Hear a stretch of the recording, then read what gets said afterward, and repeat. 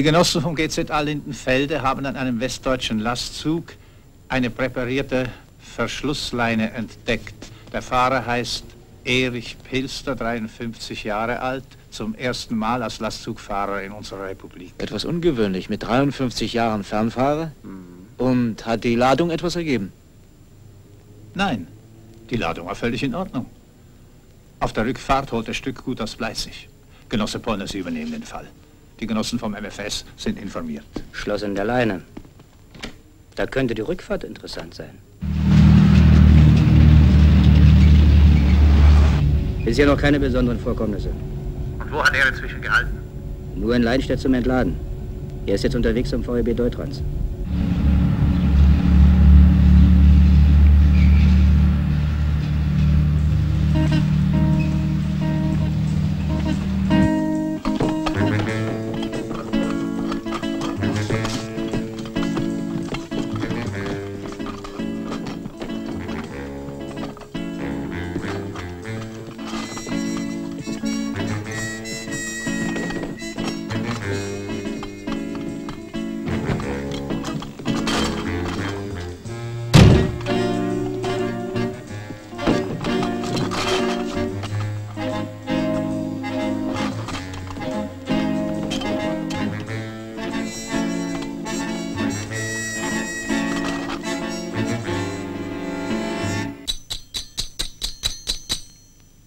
Hast du nichts gehört? Doch. Den Fips. Evchen? Opa kommt. Wo soll ich mich diesmal verstecken? In der Hutschachtel. Oder Schallplattenhülle. Ach, vielleicht auf dem Boden. Wart doch erst mal ab. Hm? Evchen, schläfst du schon? Ich will gerade ins Bett, Opa. Schlaf schön, mein Kind. Das ist das Zimmer meiner Ziehtochter. Würde mich auch interessieren. Das könnte Ihnen so passen. Mein Evchen und Herrenbesuche. Schade. Sie können mir glauben. Sie meinen es gut mit dem Mädchen. Und Sie haben nichts bereut. Sie müssen mir doch zugeben, jeder macht mal einen Fehler. Hm? Hauptsache, man macht's wieder gut. Fehler? Das war kein Fehler. Das war ein Verbrechen.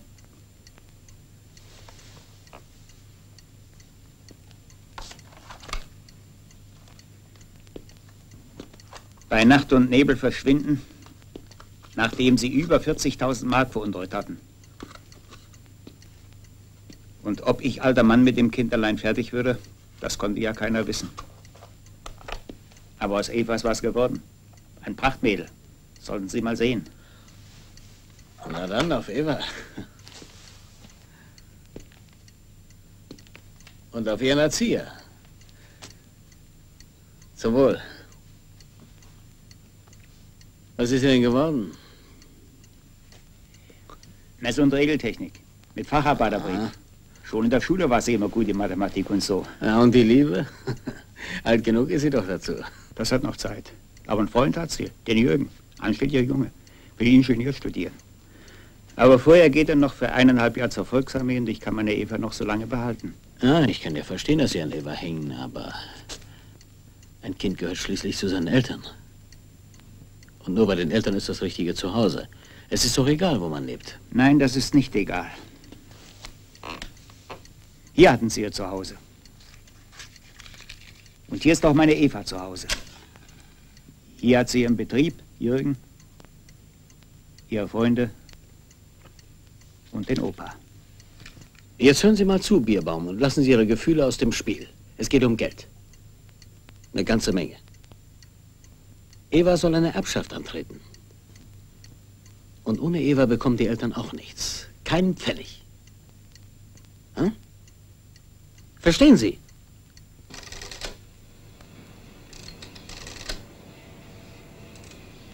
Genosse Friedrich.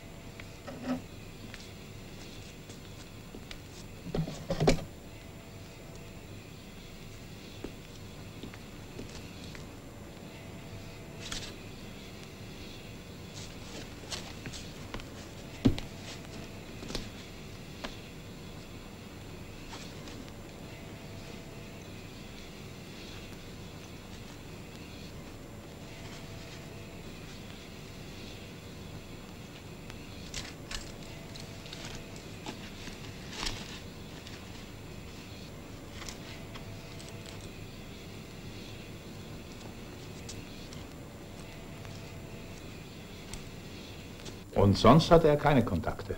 Nein, nur mit Bierbaum. Er war von 20.55 Uhr bis 21 Uhr. Also fünf Minuten in dessen Haus. Was ist Bierbaum vom Beruf? Polster und Tapeziermeister. Er lebt mit seiner Enkeltochter Eva. Allein. Die Eltern des Mädchens haben 1954 die Republik verlassen. Kurz vor der Aufdeckung einer Unterschlagung von 43.000 Mark. Das Mädchen ist bei Bierbaum geblieben. Haben Sie sich die Ladung angesehen? Bei der Ladung selbst ist alles ordnungsgemäß verlaufen. Aber in der Nacht war Pilz da auf dem LKW.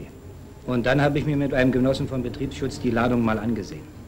Eine Kiste war so ähnlich präpariert wie die Zollleine. Lässt sich leicht öffnen. Zwei Möglichkeiten.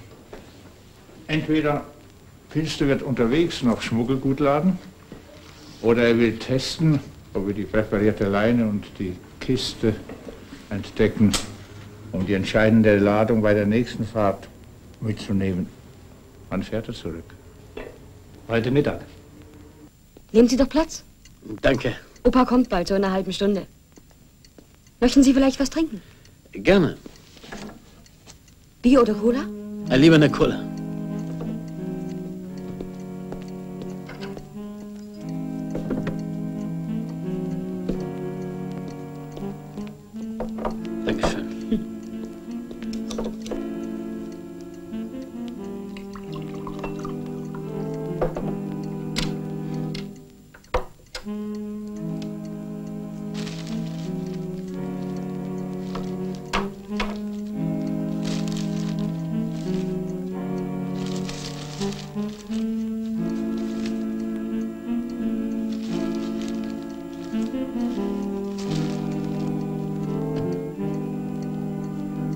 Einen schönen Gruß von Ihren Eltern. Danke. Was meinen Sie, wie oft Ihre Eltern von ihrer Eva erzählen? Ich glaube, die haben große Sehnsucht.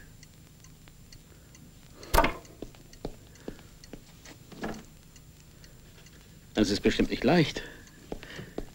So ohne Eltern. Na, Ihnen werden sie doch auch fehlen. Mir? Ich kenne Sie doch gar nicht. Als Sie wegging, war ich noch ein Kind. Für mich sind es Fremde. Aber Sie sind doch ein Fleisch und Blut. Ihre Eltern. Ich habe doch Opa. Der war für mich immer Vater und Mutter.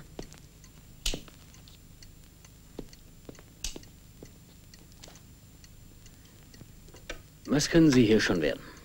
Alles, was ich will. Das ist nur von meinem Kopf abhängig.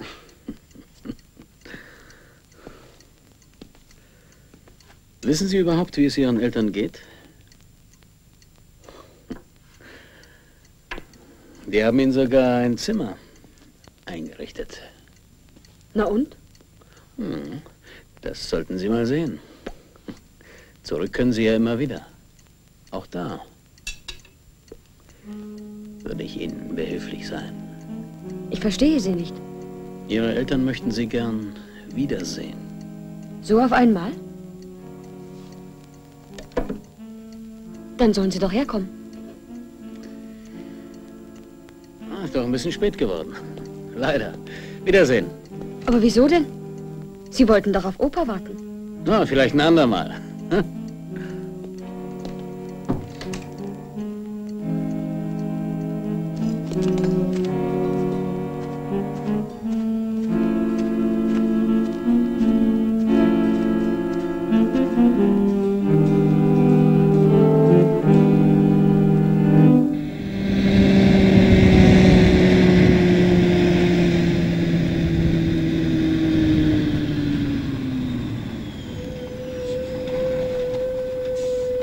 Rat?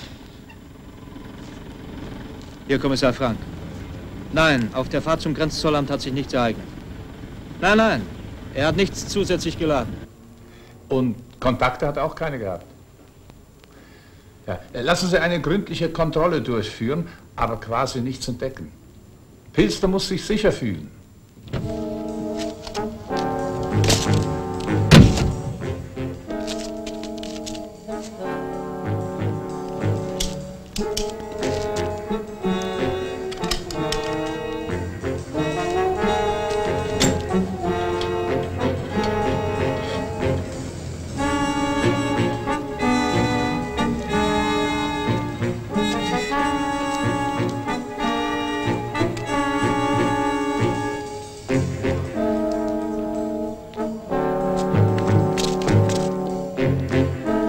Pilster, bitte Ihre Dokumente. Gute Weiterreise.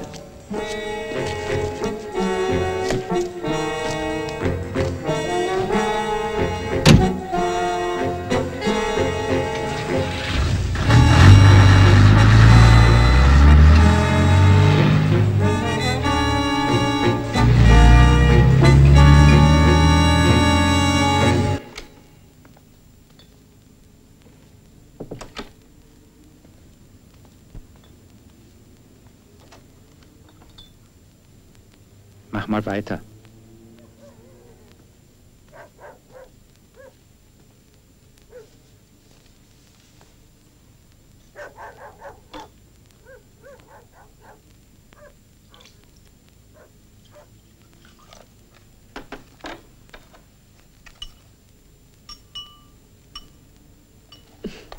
Kannst ruhig rauchen, Opa.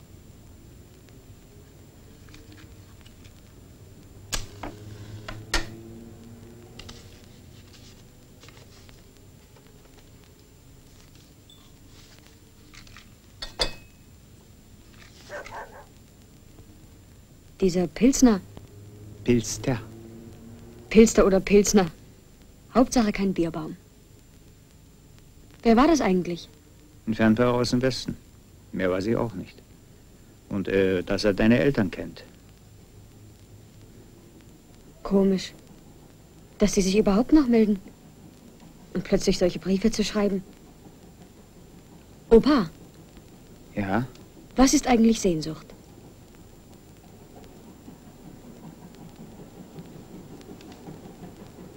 Sehnsucht. Ja, weißt du, wenn man zusammen lebt, sich wohlfühlt, wenn einer für den anderen da ist und man sich aufeinander verlassen kann. Und wenn man gemeinsam Schönes erlebt, das man nicht vergisst und das auch später noch schön ist. Gut, auch mal ungerecht ist aber sich dann auch wieder richtig versöhnt. Du weißt schon. Und dann plötzlich getrennt wird. Dann stimmt das doch gar nicht. Dass sie Sehnsucht nach mir haben. Hm, mich glücklich machen wollen. Wissen die denn überhaupt, was für mich Glück ist? Du gehörst dazu. Und Jürgen. Meine Freunde, die Kollegen. Der Betrieb. Na, wie wir eben alle hier leben. Ach, die kennen mich doch gar nicht.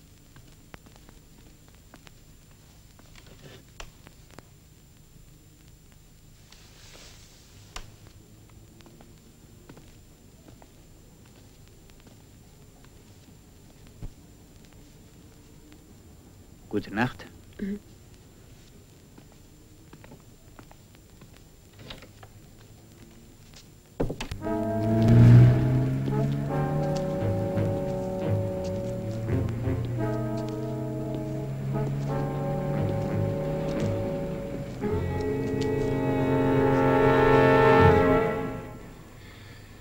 Pilst ist mit seinem LKW wieder in die DDR eingereist.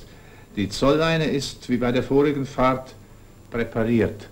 Es ist anzunehmen, dass er diesmal sein Unternehmen startet, nachdem er sich unbeobachtet glaubt. Sie werden beide den Fall übernehmen. Und ich bitte um unverzügliche Meldung bei allen besonderen Vorkommnissen. Kann ich hier mal telefonieren? Bitte sehr.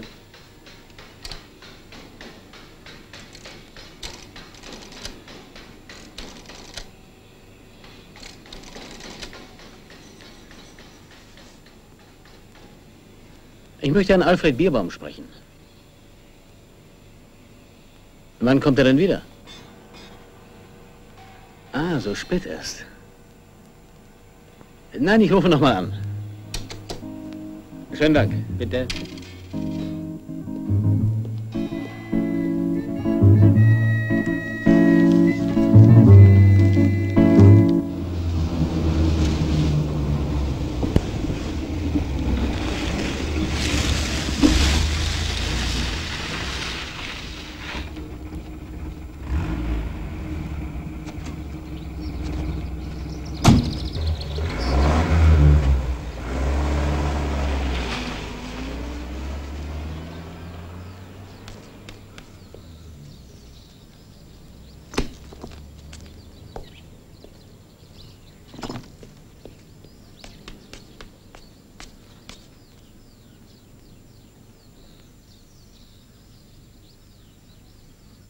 Na, haben Sie sich die Sache überlegt? Das mit Ihren Eltern. Was gibt's da zu überlegen? Haben Ihnen die Briefe nichts gesagt? Die Eltern verlangen nach der Tochter. Was denn? Ich soll darüber? Wie stellen Sie sich das vor? Ja, ganz einfach. Ich nehme Sie mit in meinem Wagen. Es ist alles vorbereitet und bezahlt. Es wartet Geld auf Sie. Eine ganze Menge. Eine Erbschaft drüben in Westdeutschland. Herrgott, nochmal, verstehen Sie denn nicht, dass Ihre Eltern Sie dazu brauchen?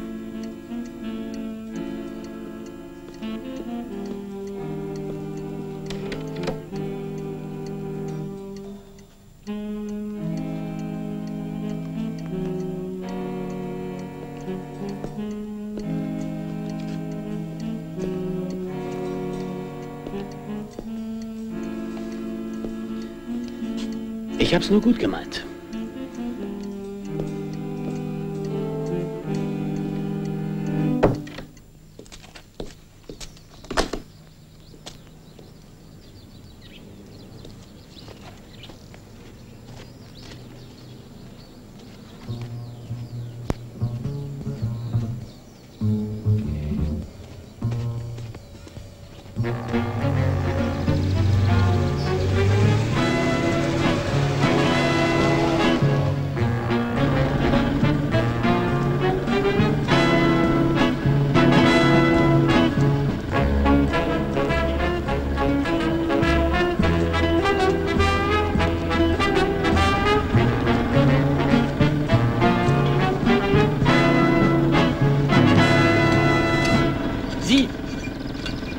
Wollen Sie von Eva?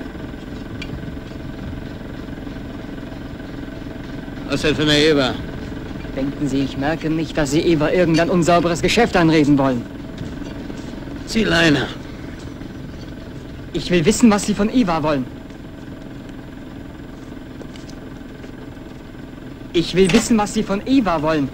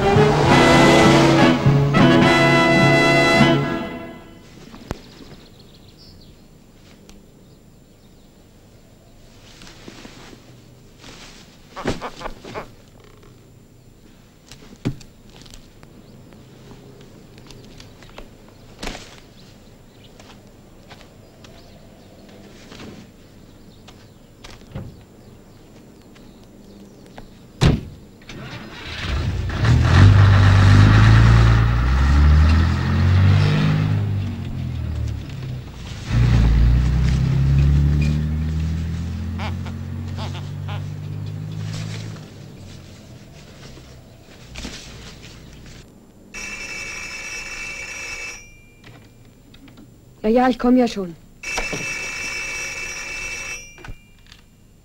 Mertens? Herr Pilster? Ja, einen Moment bitte.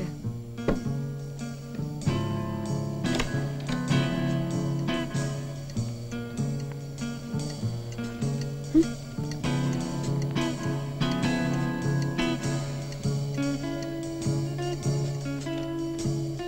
Ja, eine braune Brieftasche. Nein. Muss das sein? Na gut, und wohin? Na ja, ich komme.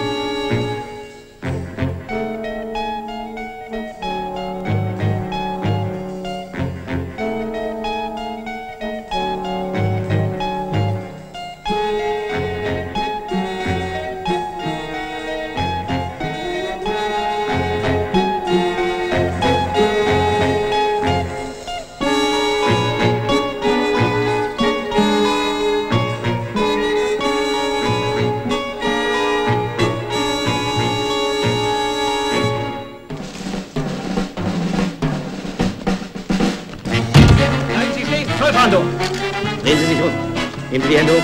Füße zurück.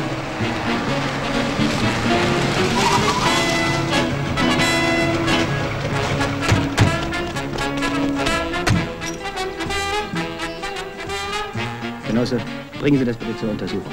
Wird ausgeführt.